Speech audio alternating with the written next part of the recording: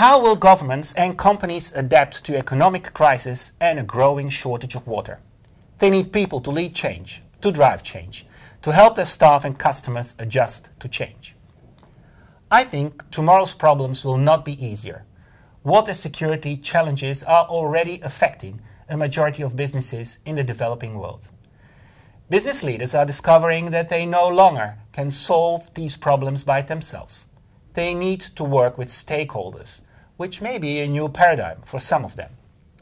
The International Water Leadership Program will develop leaders to be successful in this new world marked by uncertainty and rapid changes. We need to invest now in tomorrow's leaders.